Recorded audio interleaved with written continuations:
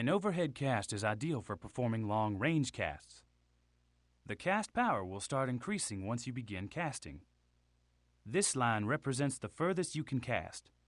You should aim to release the cast before this line, depending on how far you want to cast. When you apply too much power to your cast, the power meter will go red. This will affect your casting distance and accuracy.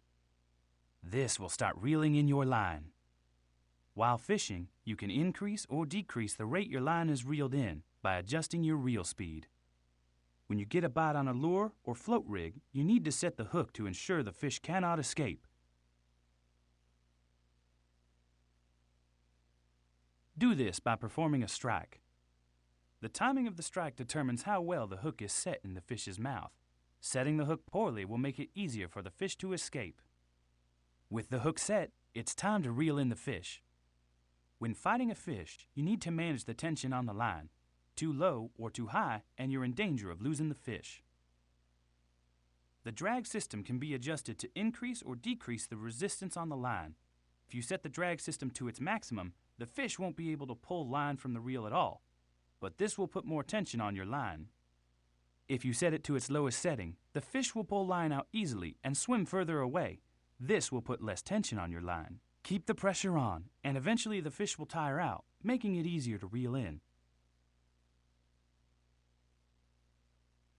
You can also increase or release pressure as well as guide the fish by moving the rod while reeling.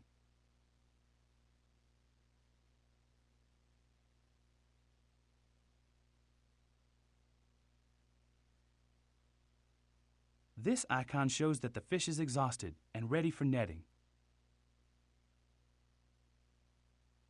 You will be rewarded with experience points based on the size and the length of the species you catch. When you're ready, release the fish back in the water.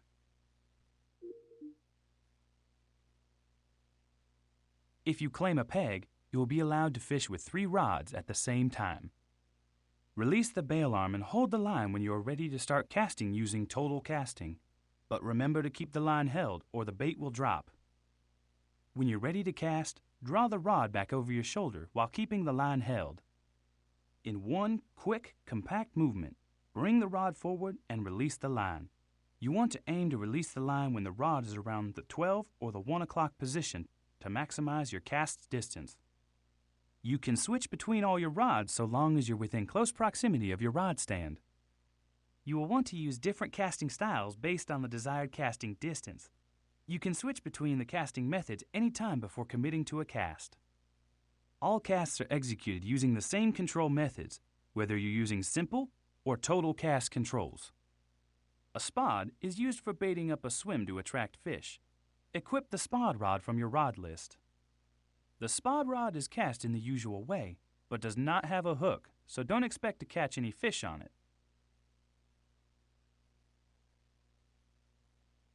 For greater accuracy when casting, put your finger on the line or move the rod mid-flat to aim for a more precise area. The spod is loaded with bait. Every time it lands in the water, it drops its bait, attracting fish to that area. You usually want to bait the same area a couple of times, which is where line clipping is most useful. The line clip limits the amount of line that is allowed off the reel when you cast. By setting the line clip, you'll hit the same maximum distance every time you cast.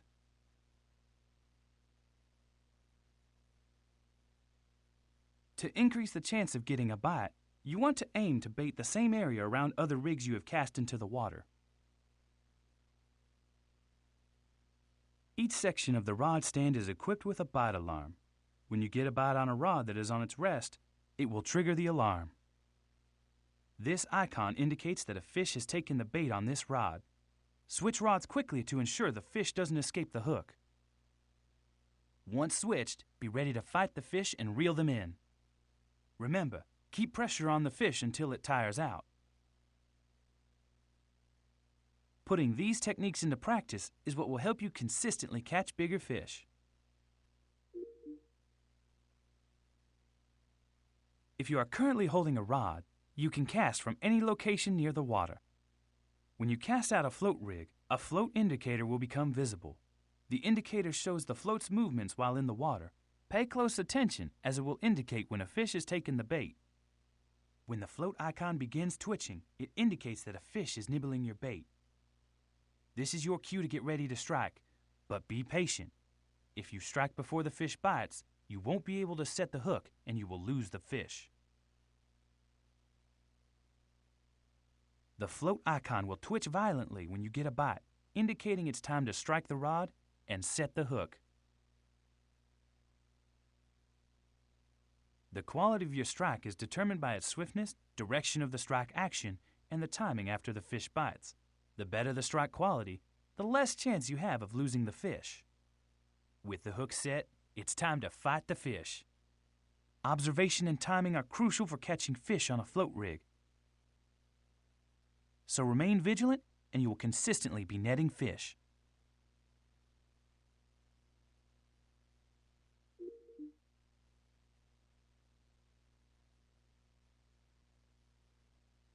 Your inventory is filled with all the equipment you currently own and can be accessed anywhere on the lake. A preset tackle box is comprised of three rods, and you can switch between saved tackle boxes or change an individual aspect of a rod setup. Select any equipment category which you desire to change. Each category is comprised of all compatible equipment options.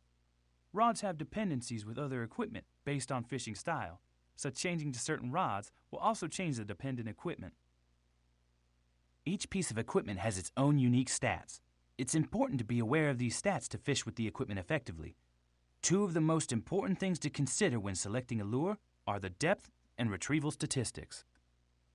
All rods will be reeled in when making tackle box changes, so ensure you're not at risk of losing a bite. When you cast out, the lure indicator will become visible. The retrieval is the type of action you perform to make a lure move through the water, but it's how you move the lure that can increase your chances of getting bites. The text will show what type of retrieve you are currently performing, and the indicator will change color to represent the effectiveness of your retrieve. Red indicates the least effective, and green the most optimal. The quality of your retrieval motion will affect your chances of hooking fish. The depth indicator shows the relative position of the lure in the water. Based on the lure stats, the crankbait is more effective at attracting fish while under a constant or stop and go retrieve. A constant retrieve is performed by constantly reeling in. How fast this crankbait is reeled in will impact the depth it dives to. Depth and retrieve quality are displayed and updated in real time based on your reel speed and rod movements. If you want to retrieve at lower depths, try increasing your reel speed. You're not going to get a bite on every retrieve, but to increase those chances, you want to keep casting out and retrieving. The longer your lure is in the water, the better chances you have of attracting a bite. This crankbait is effective at using a stop and go retrieve. To perform a stop and go retrieval, reel in at a moderate speed and then stop briefly before reeling in again, then repeat. The lure indicator will provide feedback between multiple retrieves,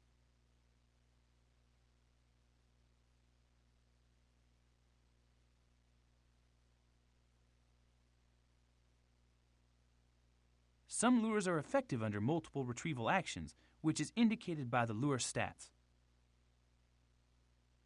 Based on the lure stats, this popper is a topwater lure and is most effective at attracting fish while under a twitch or a stop and go retrieve. Topwater lures will always skim across the top of the water, but how they vibrate on the water surface is what makes them irresistible to a fish. To perform a twitch retrieve, you want to reel your line in slowly, whilst making quick, successive twitches of your rod tip in the desired direction, followed by a pause. The splashes mimic a distressed bait fish which the bass prey on, usually on the pause between twitches. This is a more technical retrieval method that is going to take some practice.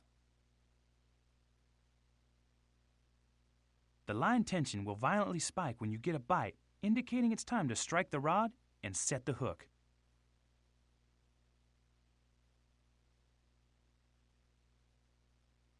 The quality of your strike is determined by the swiftness and direction of the strike action and timing after the fish bites. The better the strike quality, the less chance you have of losing the fish. With the hook set, it's time to fight the fish.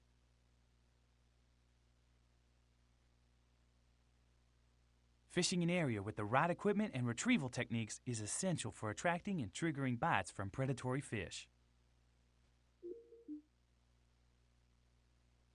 For larger lakes, a bass boat will be your main means of transport for navigating the lake.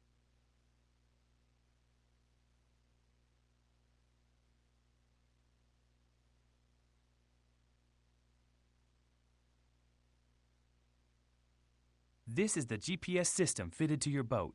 It allows you to see where you're currently situated on the lake and identify potential fishing spots.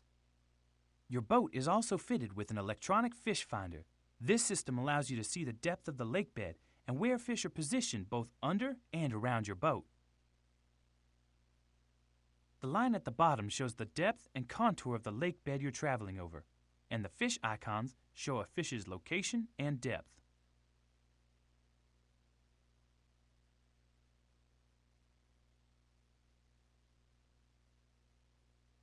When you find a spot you want to fish, stop your boat and switch into the fishing position to start fishing.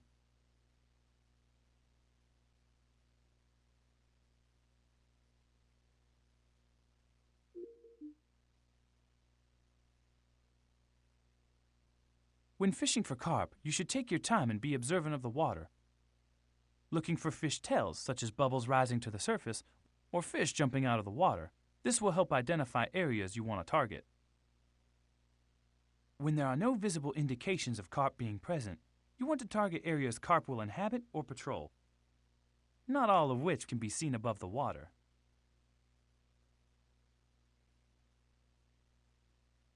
Weed beds and lily pads provide carp with natural supplies of food. Anywhere there's food, you can expect carp to be patrolling the area. Overhanging trees, islands, reeds, and rocks around gravel beds provide carp with shelter and security. Carp often patrol at different depths when looking for food sources. A silt bed provides a good supply of bloodworms, making it a hot spot for hungry carp. Carp have been known to use different geographic features as reference points to find their way around certain areas of the lake. The margins and banks that protrude out into the lake are a feature where carp often patrol. This is going to be different between lakes, so you should take your time looking for carp and identifying their feeding areas, making sure you're using the most effective rig for that area. Hunting for bass, you first want to locate structures. Structures are physical aspects shaped by the environment such as drop-offs, creek channels, flats, humps, and points that can normally be found in changes of depth or shape of the lake bed. Bass will orient themselves around structures and use them to navigate between points, so they're good to use when selecting your fishing spots. A shoreline is a structural feature which you can expect to find bass around, especially in the presence of cover. When targeting a shoreline, you want to aim your casts parallel to it, as this keeps your lure in an area called the strike zone. The longer your lure remains in the strike zone will increase your odds of hooking a fish. You can identify structures under the water via your GPS and map. Once you've reached the structure you want to fish, you should identify and target specific cover near that structure. Cover is defined as an object that exists on or around the surface, such as trees, rocks, weeds, lily pads, docks, and bridges. Bass will gravitate towards cover for protection and to ambush prey, making cover an ideal target to position a lure. Having such a large body of water to target fish, you will need to narrow your focus for choosing where to fish. By being observant of structure and cover on and around the lake, you'll be able to identify populated fishing spots across different lakes.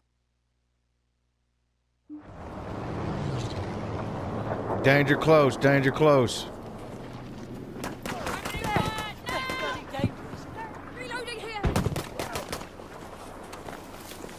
fucking arm's all gimped out. What the fuck is going on? I got the gimp hand. Is going on with my dude here? He's... The fuck?